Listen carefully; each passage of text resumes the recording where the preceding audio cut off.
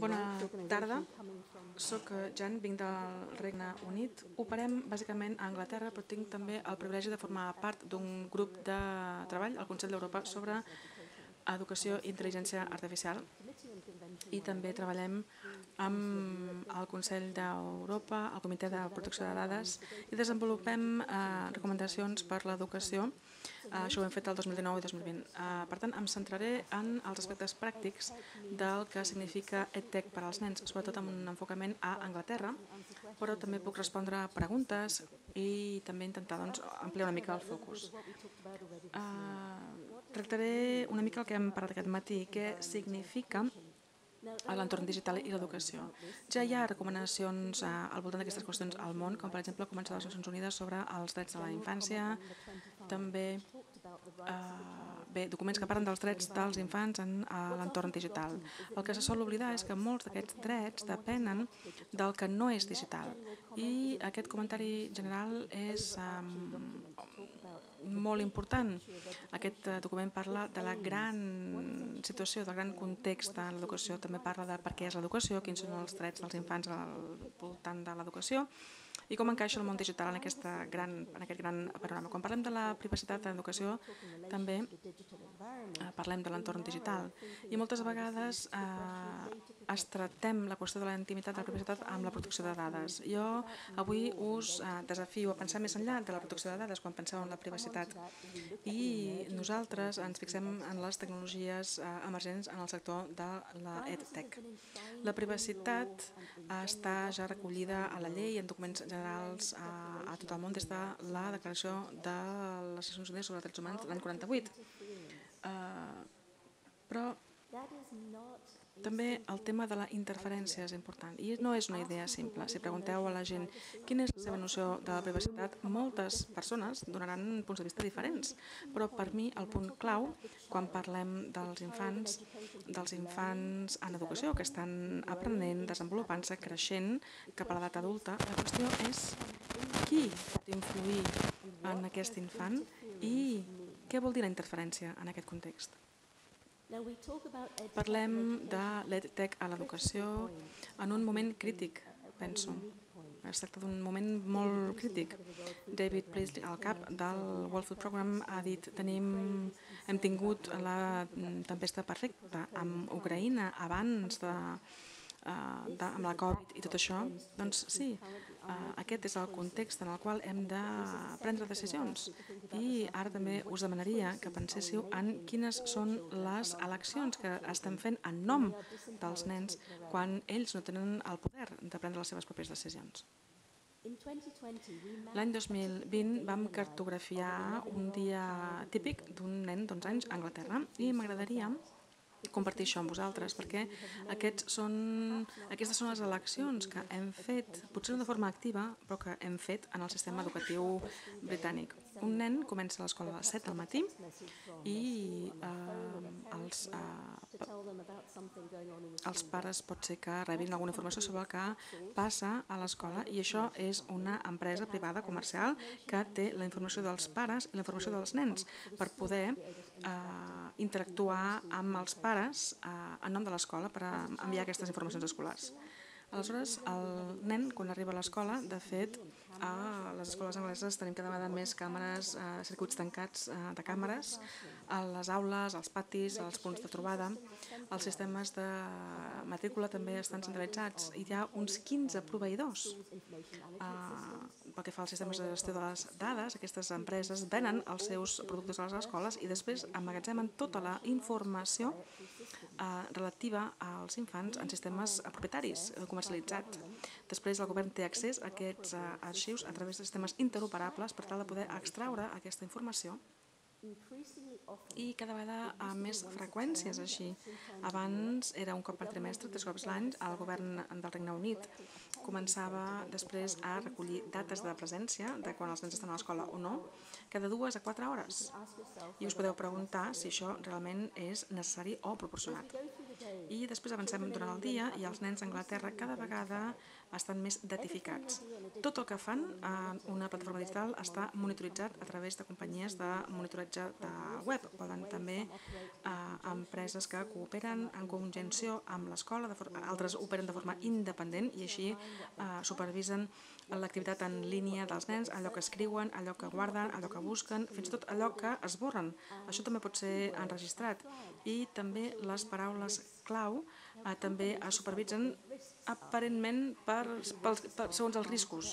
Aquests riscos es eh, decideixen per part de les companyies. Pot ser riscos per ells mateixos, riscos per als altres, com per exemple bullying, o risc mm, per part d'altres, com possibles doncs, acusaments eh, o assetjaments, perdó. I aleshores um, hi ha aquesta capa que se superposa. Uh, els nens després també poden entrar a Google, Microsoft o altres, però bé, al Regne Unit aquests, uh, són, aquestes són les dues principals um, companyies a les uh, cantines, a l'hora de dinar, també cada vegada s'utilitza més la biometria. Hem estat un dels primers països que va començar a utilitzar tecnologies d'empremtes i de bio, uh, biomimètiques des de l'any 2001 i també sistemes de pagament sense caix.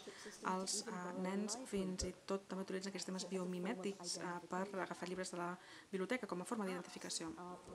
També hi ha moltíssimes aplicacions, es poden utilitzar per diferents coses, però algunes d'aquestes aplicacions eh, restringeixen el comportament, perquè els mestres puguin interactuar amb els nens, diguin, molt bé, has fet això molt bé, i per tant li donen punts positius, o no, has fet com dolent, i els donen eh, punts eh, negatius, i sovint utilitzen codis com els semàfors, i aquestes aplicacions sovint hi poden tenir accés també els pares. Després, eh, les aplicacions per eh, ensenyament, per aprendre, i és quelcom molt present al. Hi ha molt d'això que se centra al voltant de l'administració. Les aplicacions d'aprenentatge, d'educació, també poden ser utilitzades pels professors al principi de la classe o al final de la classe per fer un petit eh, joc, per saber per, mm, comprovar els comportaments, de, perdó, els coneixements dels nens o per fer deures. També estan emergents plataformes d'intel·ligència artificial i algunes també poden personalitzar els aprenentatges.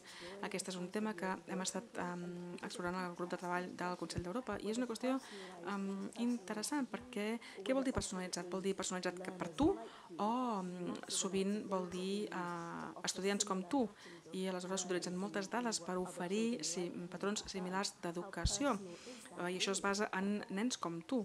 I això al final és realment personalitzat.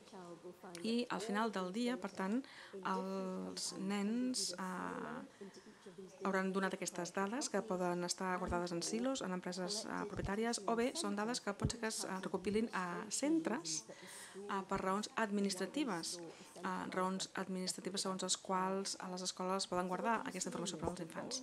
I el que veiem és que el volum d'actors és ingent i hem vist també que hi ha mm, diferents xarxes, aquest diagrama de tipus eh, mm, aranya.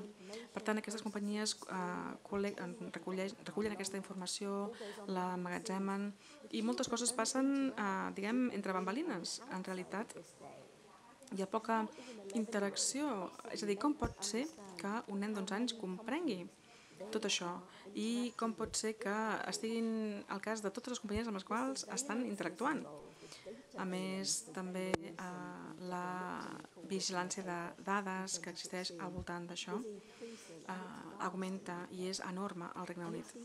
I cada vegada això representa eh, que les, eh, els límits són cada cop més estrets entre l'escola i eh, les llars. És a dir, les activitats dels infants són sempre supervisades, supervisades allà on siguin 24 hores al dia, 7 dies a la setmana, 365 dies a l'any. Per tant, la qüestió de la privacitat realment no és una qüestió realista gairebé, sinó que la qüestió de la confidencialitat de les dades hauria de ser una qüestió professional que ens hauríem de plantejar tots. La confidencialitat cada vegada és més difícil garantir-la quan hi ha tants actors implicats. També hi ha qüestions com l'accessibilitat, el disseny, fins a quin punt els diferents nens amb diferents neurocapacitats, amb diferents discapacitats, fins a quin punt tenen accés a tot això, quins són els estàndards de salut eh, aplicades a cada eina. Al Regne Unit no existeix això qualsevol persona pot iniciar una aplicació d'EdTech i vendre-la o regalar-la, la qual cosa és una forma molt habitual de poder accedir a les escoles. Després la distribució de les dades. Aquestes companyies, mm, des de les escoles, les empreses mateixes o companyies terceres, diguem que mm, hi ha manca de, de control. Hem parlat, per exemple, amb una companyia que mesura a través d'una aplicació la capacitat de lectura dels eh, infants i aleshores eh, poden enviar informes de lectura als pares i aquesta informació es eh, conserva. I això, evidentment, eh, suscita moltes preguntes. Eh, fins, a quin punt de, o sigui, fins a quin punt aquesta empresa està ben preparada per eh, avaluar d'aquesta forma la lectura del nen? És a dir, eh, és la companyia la que decideix al final i com això influeix en la tria dels nens dels llibres que llegeixen també és una pregunta que ens podem formular. Però aquesta companyia, de fet, eh, pertany a un fons de capital privat eh, basada a les Illes Caimán. No és quelcom en què pensarien realment els pares. És a dir, els pares mai no pensen, quan envien el seu fill a escola, que el seu fill acabarà interactuant amb una empresa de les Illes Caimán. I eh, això, així que la O formula la pregunta, per què van els nens a les escoles? Perquè tenen dret a l'educació, però cada vegada més les tecnologies emergents estan mm, afegint tantes coses a un dia normal. Cada vegada hi ha més intrusió i més invasió. També tenim, com he dit, aquests, uh, aquesta tecnologia biomimètrica. Uh, cada vegada doncs, les empremtes cada cop la veu, s'enregistra més a les uh, classes.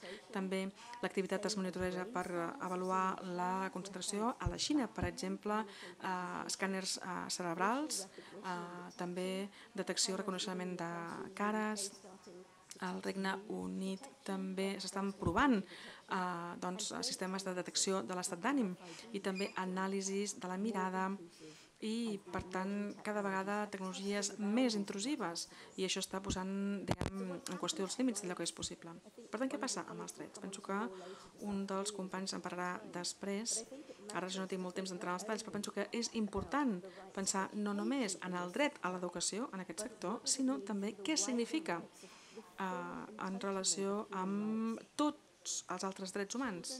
Els infants eh, es beneficien d'una protecció especial, d'uns drets especials. Eh, això ho sabem, hem llançat una nova estratègia pels drets eh, dels infants i això es diu recentment. Els infants eh, han de tenir tots els drets a la seva disposició i a la Declaració dels Drets Humans també hem de reconèixer que els drets són indivisibles, inalienables i interdependents.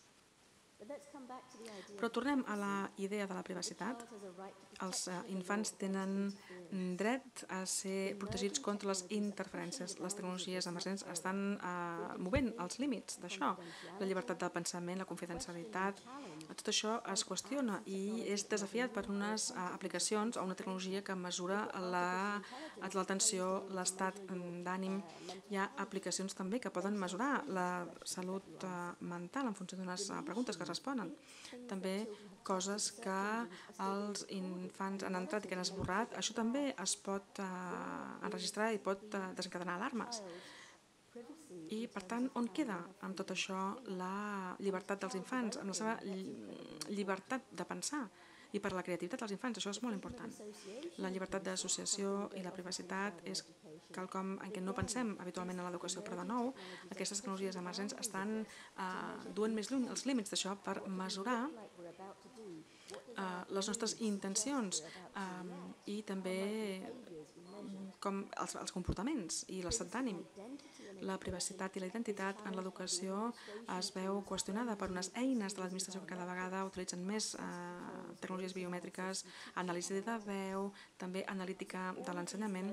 Per tant, totes aquestes tecnologies emergents estan qüestionant la llei i estan, hem de definir què és la biomètrica, perquè a la llei la biomètrica es defineix com la capacitat d'identificar un individu i a menu, sovint no els interessa identificar l'individu, sinó és la capacitat de crear perfils i de poder identificar doncs, el potencial comportament i de crear prediccions al damunt d'això, i això cada cop és més important. Per tant, Eh, quan volem desenvolupar noves recomanacions, bé, de fet hi ha algunes recomanacions existents que es poden utilitzar, però tot això penso que encara està sent qüestionant si ens fixem en quina és la base autèntica, és a dir, per què els infants han de uh, recórrer a l'educació. Hem de pensar només en els drets dels infants en, a nivell de la seva habilitat d'accedir a l'educació, sinó també l'objectiu de l'educació, la finalitat de l'educació. Les finalitats uh, de l'educació apareixen a l'article 29 de la Declaració de les Nacions uh, Unides. Aquests drets tenen a veure amb la promoció i el suport i la protecció de la dignitat de tots els drets eh, i l'anhelapes dels infants perquè els infants puguin eh, prosperar cap a l'edat adulta. Per tant, hem de pensar no només en els infants com a individus, sinó també que hem de pensar en com influïm en el seu desenvolupament i també eh, quan mirem de cara al futur hem de pensar en com el seu desenvolupament està sent influït per aquests altres actors que operen a tot el món. Aquest matí hem parlat de la sobirania, sobre la influència de la tecnologia, de les dades i també el finançament al voltant de l'educació. Hem de pensar en qui està aprenent eh, mentre els nens aprenen, què s'emporten aquestes companyies, què, què s'enduen per entendre ben bé tot el panorama educatiu, quin poder els dona això per influir no només en els infants, sinó també en eh, el sector educatiu a nivell estatal i també el cost de tot això. Avui aquestes companyies poden oferir això gratuïtament, però pot ser que comencin a cobrar al futur i això està mm, relacionat també doncs, amb la capacitat dels estats de, de, de proporcionar l'educació i qui controlarà tot això en el futur. Finalment, hem de recordar quins són els propòsits de l'educació. Hem de centrar-nos en el desenvolupament complet de la personalitat humana, hem de garantir el respecte dels drets de les llibertats fonamentals. I potser ara és el millor moment de recordar que també és important eh, promoure la comprensió i l'amistat entre totes les nacions. Moltes gràcies.